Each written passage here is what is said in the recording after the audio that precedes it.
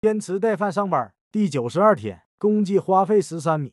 今天准备做蒜香鸡翅，菠菜凉拌平菇，鸡翅切成两半，加盐、糖、胡椒粉，一点蚝油，一点奥尔良粉，拌均匀，腌制半小时。锅中倒油，鸡翅一侧放进去煎，小火慢慢煎，金黄金黄就差不多了。中间下蒜末，下青红椒，翻炒翻炒，再来点生抽。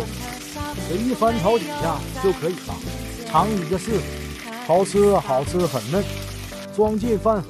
这鸡翅我真的爱了。下一个菜烧水烫平菇和菠菜，平菇煮汤也很好吃，菠菜烫个一分钟就可以，捞出备用。来调佐料：蒜末、小米辣、干辣椒面、芝麻油、两勺生抽、一勺陈醋、蚝油，再来点温水。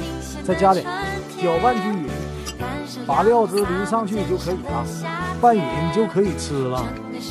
让我尝一口，可以的，可以的，感觉更适合夏天。